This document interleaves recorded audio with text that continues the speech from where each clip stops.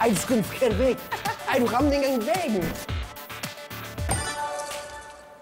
Oh my god. Så er vi lige nu. Vi kender alle sammen den her.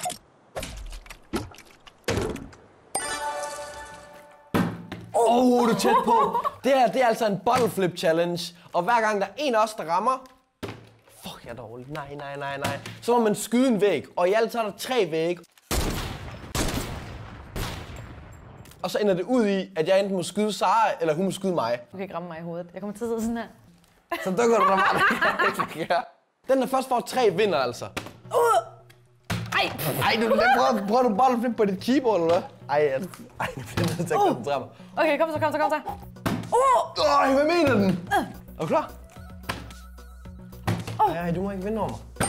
Ja, nej, se, så må jeg skyde. Så det Okay, betyder okay. nu, at jeg må skyde en væg nu. Jeg skyder den første her, og så kommer der noget, tallet nummer to. Det betyder, at jeg er kommet til nummer to væg, og jeg skal altså have tre. Ej, jeg er dårlig.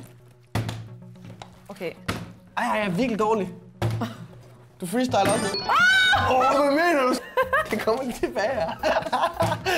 Hvad, hvad er stratten helt hernede fra? Jeg ved det ikke, jeg tror, man skal lige lidt tilbage, du ved.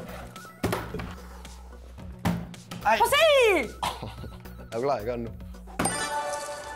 Det betyder nu, når jeg skyder den her væg her, så er jeg kommet til nummer tre. Nej, der er for meget vand i. Der er for lidt vand i. Der er...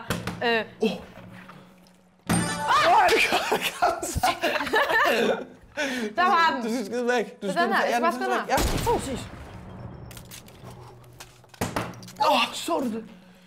Uh! Jeg lavede den sidste, nu kigge. Var det tæt på? Nej. Var det ikke tæt på? Det er mig, Du kan der lave sådan en helt underlig metode. Du gør sådan hvad? her. Du gør sådan her. Det er fordi, jeg er elegant. Hvad er det for? Det er style points. Jeg får style points til Det det. er det, du laver. Style points for... Oh my god. Så er vi lige nu. Det er uheldigt. Ej, ej, ej, det betyder det begge to. Ej, du skød den forkerte væg. Ej, du ramte ikke engang væggen. Det bliver du ikke ramt igennem den. Sådan der. Let's go. Nej! Det betyder altså nu, at vi mangler én væg hver. Så det vil sige, at hvis jeg rammer en mere nu, så må jeg give dig en på hovedet med den her sniper. Du kan ikke ramme mig i hovedet. Sådan. Nej! Let's go, man! Woo! Jeg ramte altså den sidste her, så det betyder nu, at du skal stå inde i cirklen.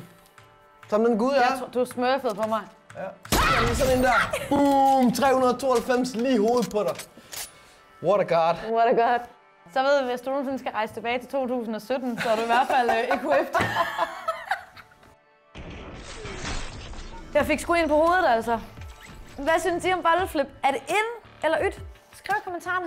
Jeg synes i hvert fald, det var meget sjovt. Mm. Og husk, at I kan se mere Ultra Gaming lige her. Og subscribe på kanalen lige her. Tak fordi I så med.